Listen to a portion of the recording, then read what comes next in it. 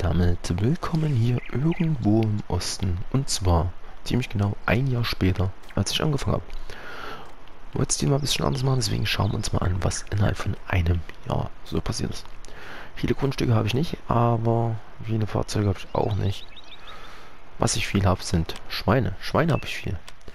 Und zwar habe ich mir am Anfang tatsächlich, ich glaube, 22 Schweine gekauft. Ich musste dringend mal sauber machen, ich weiß. Ähm, 22 Schweine gekauft und zwar zwei Kerle, das sind mal die das Gloucester Old Spot und das Berkshire und dann jeweils 10 Säue. So, was bei rausgekommen ist, sieht man 159 ist auf jeden Fall ordentlich und ich hatte ähm, 30 Schafe, glaube ich. Wir haben gerade ein ganz frisches, neugeborenes und wir können mal kurz durchschauen. Nächstes Tier 0,0 Jahren, also das bedeutet, wir kriegen noch und bei Seasons ist ja so, dass nicht unbedingt bloß eins rauskommt, sondern auch mehrere. Ich glaube, ich hatte ähm, beim ersten Schweinewurf, hier kommt auch noch eins. Schweinewurf, nennt man das Schweinewurf? Ich weiß gerade gar nicht genau. Auf jeden Fall. Ähm, bei den ersten Schweinen waren gleich mal acht dabei. Also hatte ich mit einmal gleich wesentlich mehr Schweine. Und wie im echten Leben halt Schweine ähm, kriegen ja ziemlich oft Genau, so, das sind alle unsere Schafe. Ich glaube, das sind nicht alle, es werden nicht alle angezeigt. Wir können mal 10, 2, 4, 6, 8, nee, es werden definitiv nicht alle sein, weil es sind keine 40. Auf jeden Fall haben sie gut Wolle gemacht nach einem Jahr. Das Problem ist halt bei dem Platz passen bloß physische Stapel rein, deswegen muss ich erstmal davor schieben, damit wir das Ganze gucken können. Und hier sehen wir schon so ganz klein. Ich war so frei und habe mir Bäume hergepflanzt. Ja, das dauert, ich glaube, fünf Jahre oder so dauert es, bis die Bäume ausgewachsen sind. Und ich habe bei irgendeiner Mission, ähm, ja, etliche Silagebäume abgefasst. Nennen Sie mal. So, also wir haben hm, da oben die 4241 Euro und haben hier auf jeden Fall Wolle. Wir müssen mal ins Seasons Menü gucken. Ich muss auch unbedingt mal bisschen machen. So, wann denn Wolle? Eigentlich hat Wolle jetzt den besten Preis. Das bedeutet, wir könnten es jetzt verkaufen und würden im Grunde jetzt die meiste Kohle dafür kriegen. Das klingt ganz interessant, deswegen mal schauen, bei was es denn ist. Ach so, es gibt jetzt Precisions Farming. Bringt uns allerdings nichts, weil ich kein eigenes Feld habe. Aber es kommt noch. Wir können ja mal schauen, was wir jetzt dann aktuell an Wolle kriegen. Was haben wir denn schön zu Aufträgen? Transportieren. Oh, hier ist, hier ist ein schöner Düngen. 3,9 Hektar. Okay. Wir werden jetzt mal, irgendwo steht hier, achso, ihr wisst ja gar nicht, was ich habe. Ich habe ein Fiat noch hier rumstehen. Man sieht es sehr sauber. Und da hinten haben wir noch natürlich ein, versteckt sich da hinten, ein ZD-Fortschritt. Schöne Hänger. Wir werden jetzt mal fix den Fiat nehmen, zum Händler fahren, den Düngerstreuer anhängen und den einfach mal die Düngemission machen lassen. Wir brauchen das Geld, ne? So. Warte, dann haben wir fix den Düngerstreuer lernen. So, komme ich hier rum? Ja, jetzt sind wir wir sind ein Trottel. Ja, natürlich. Dann geht es wesentlich besser. So, schon mal hinten. Dann werden wir einen schönen Auftrag machen. Ich hoffe, dass der sich lohnt. Man sieht es natürlich auch durch das dieses Precisions wo ich ja jetzt ein extra Video dazu gemacht habe. Das sind ganz schön lauter Pult, aber meine Gott, okay, zwei. Äh, dass man jetzt halt, wir können theoretisch manuell den Dünger auspumpen. Und ich war auch schon, es gibt jetzt neue Gebäude, dass man eine Art GPS-Sender ist das mehr oder minder. Das eine ist eine Halle, das andere ist eine kleine Hütte bloß, dass man eben sagt, beziehungsweise das Spiel sagt, okay, dann gibt es halt, ähm, also dass der, der Helfer gezielter fährt. So, jetzt, jetzt habe ich endlich ausgesprochen, was ich eigentlich sagen wollte. Ja, steht ziemlich auf dem Schlauch. Man merkt so, aktuell kommen nicht so viele Videos, liegt aber eher am Prüfungsstress. Deswegen müssen wir erstmal noch die Prüfung durchballern.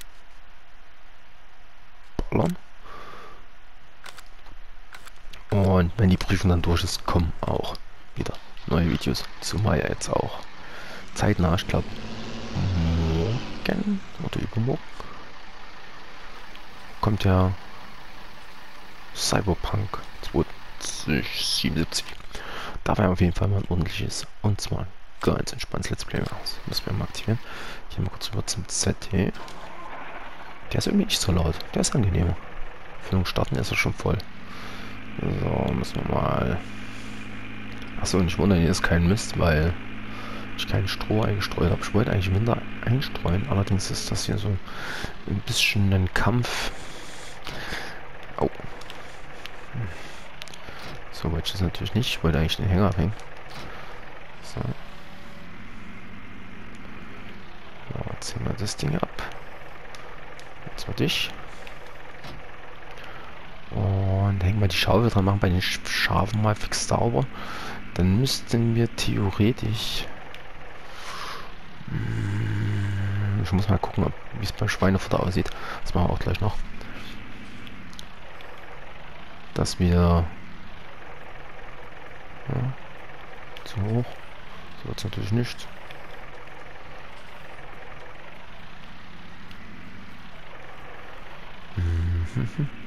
Ich sitze einfach zu nah am Steuer, ich weiß schon. So, damit ist ja auch wieder sauber. Packen wir das kleine rein. Nicht, dass jemand irgendwie Hunger leiden muss.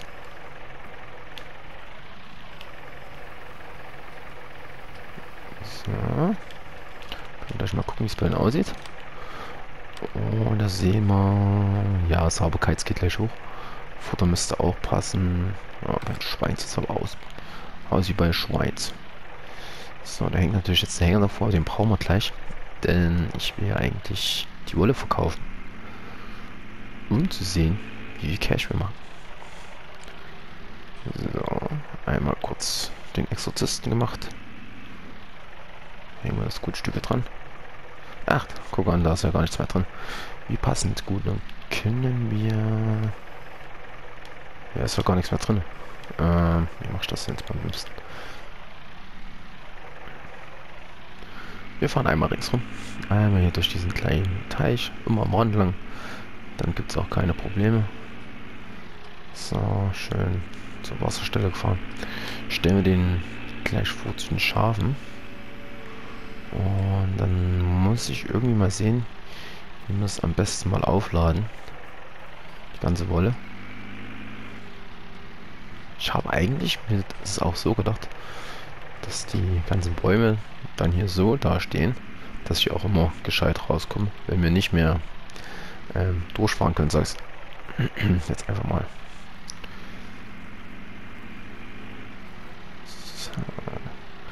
Was natürlich auch problematisch werden könnte, ist jetzt natürlich nicht, noch nicht so relevant, aber es gibt ein neues Update zu der Karte. Und das besagt halt, ähm, naja, wie soll ich sagen, es gibt halt eigentlich auf dieser Karte Ziegeln und Schafe, äh, Ziegen und Enten so. Und ich glaube, das aktuelle Update entfernt das wieder. Deswegen spielen wir jetzt gerade noch ohne Update.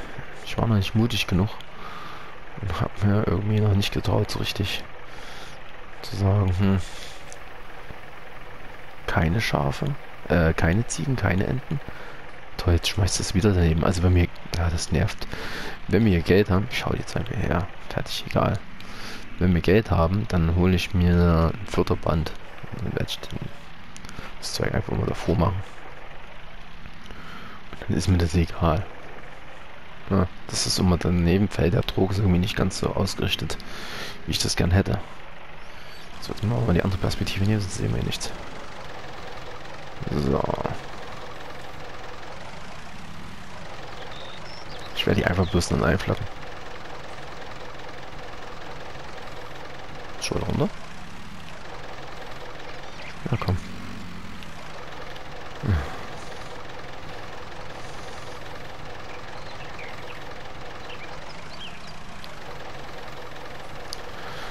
irgendwie. Ich dachte, die rutschen besser rein. Hm, das ist natürlich bescheiden. So. Ah, jetzt. War ja klar. Das ist natürlich dann das funktioniert, wenn wir es so nicht mehr wollen. So, haut mal rein. Also, das funktioniert so, wie ich gerne hätte. Ja, super. Ne. Ja. Ich weiß gar nicht, ob ich die dann hier festspannen kann. Ich glaube nicht.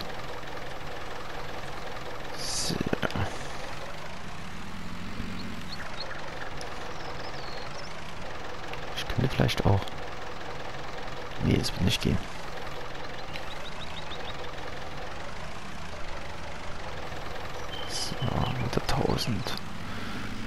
Also ein bisschen Boller haben wir auf jeden Fall dabei. Hauptsache ich kriege das dann auch runter. Das gleich das nächste Problem. Ja, zack. Ah ja, ich glaube, wir werden nicht so richtig beim Shop ankommen. Ich das so angucke. Zack. Ich glaube, wir können das nämlich so nicht abkippen.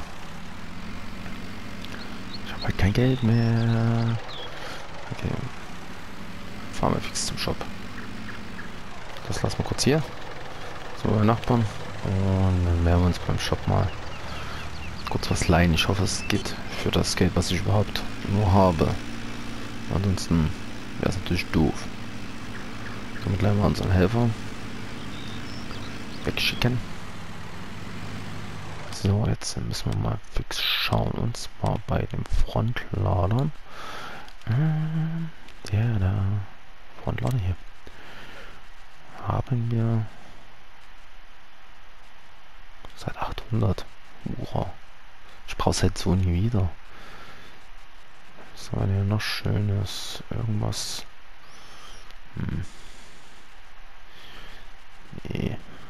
Das ist alles nicht so das, was ich gerne hätte. Okay, wir werden mal die Gabel mieten. Mieten die mal. So, wo ist er? Ah, steht natürlich der Vier davor.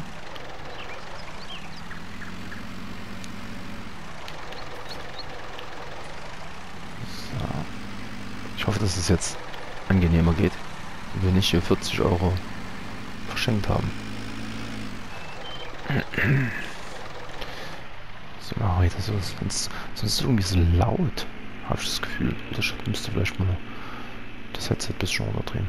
Dann könnte es natürlich wesentlich entspannter sein. Was interessant ist, die Leute hier, also bei denen geht es jetzt gerade.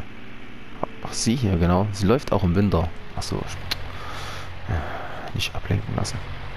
Sie läuft auch im Winter. Im T-Shirt, würde ich sagen. So. Nicht hupen. Ich bin gleich weg. Ja. So, packen wir das mal noch rein.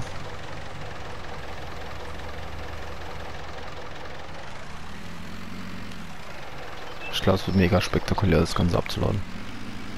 Wir werden auf jeden Fall nur die eine Frucht zusammen machen, ansonsten dauert es ja zu lange. Lass mal gucken, es gibt eigentlich irgendwo noch ähm, eine Mod, die das Ganze ein bisschen erleichtert. Eins stelle ich noch drauf. Ich hoffe, ich kriege das dann auch beim Händler runter. So. Zack. Und raus. Nicht, dass es da oben auf Doch, ich, ich wüsste, wie ich es machen kann. Ich zeige es euch dann, falls es nicht geht. Falls ihr auch mal das Problem habt, dann zeige ich euch, wie ihr das trotzdem abladen könnt. Das lassen wir vorne auf dem Zinken, auch wenn man das nicht so machen sollte. Ne. Ihr wisst ja, wenn die Polizei kommt, wird's teuer. So, jetzt hoffe ich mal, dass es da oben drauf stehen bleibt. Wolle müssten wir eigentlich gleich da hinten irgendwo verkaufen können. Ja, genau deswegen macht man dieses so nicht. So, hinten drauf steht noch alles. Ich habe ja aber auch keine ähm, Spanngurte dabei. Nö. Äh, ach so, wir sind, ich glaube, wir sind schon da. Moment, ist das hier? Nö, ist es nicht. Hier vorne müsste es, glaube ich, sein. Hier ist Strohverkauf. Manchmal mal kurz schauen. Und ja, hier ist auch Wollverkauf. Jetzt wir mal. Ähm, oder? Nee, hier nicht. Okay, machen wir es woanders. Müssen mal kurz hier schauen, wo wir dann Wolle verkaufen können. Wolle ist... Ähm, ach, es gibt eine extra Wollverkaufsstelle. Wollverkaufsstelle. Stroh, Gras, Luzerne, Heu. Stroh. Hier ist Wolle. Ah, auf der anderen Straßenseite. Okay, ist jetzt nicht ganz so schlimm. Auf der anderen Straßenseite können wir Wolle verkaufen. Nein! Ah. Ah. Holen wir später ab. Nicht so schlimm. Wolle hier vorne. Ja, das war die Strafe, weil wir es wieder übertrieben haben. Und natürlich hier wieder total unvorbildlich unterwegs sind. Nicht runterfallen. Oder noch nicht. Genau, ich denke mal, das erste da, ja, da sieht man doch schon die Wollpaletten. Da sollte es gehen. So, schaffen wir das noch vor dem Auto? Ich gehe mal lieber kein Risiko ein. Nicht, dass hier irgendwas schief geht. Ach, hier sind auch noch meine Heuballen. So, jetzt. Äh, Abgibseite links. Was du hast... Kann ich hier nicht entladen. Ich hab's fast geahnt.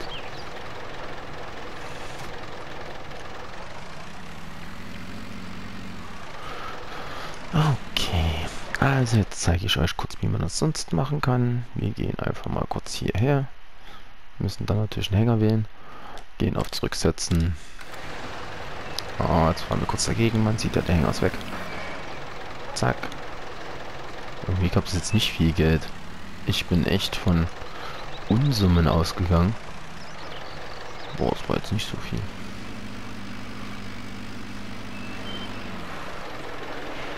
Ich dachte, wir kriegen mehr. Naja, egal. Wir brauchen das Geld. Ähm Was ist jetzt hier das Problem? Warum geht's denn jetzt nicht? Ist doch der Wollverkauf. Hm.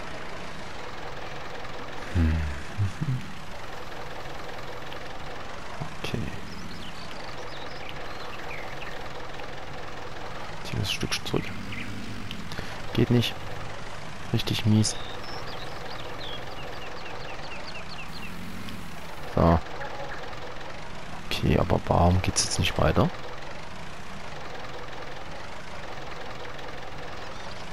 Verstehe ich nicht. Warum? Hä? Manchmal ist das echt merkwürdig, dieses Spiel. Wahrscheinlich gibt es bloß ganz, ganz kleinen Volt-Trigger hier so. Das verstehe ich gerade nicht.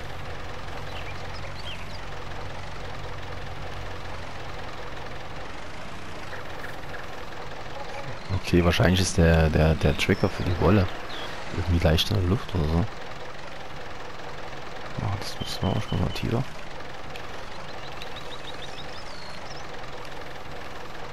Oh.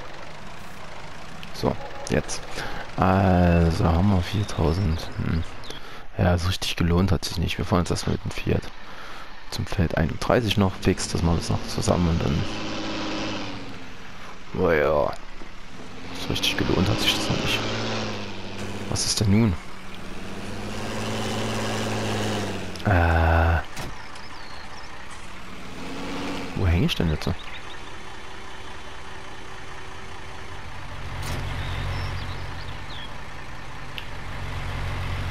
ist echt nicht mein Tag. So. Weil jetzt habe ich die Saatgutpalette rausgeschnitten. Das habe ich natürlich nicht zum einen nicht gesehen, zum anderen nicht gewollt.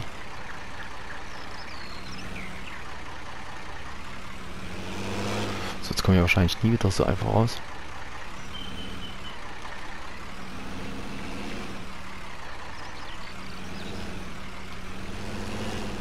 So.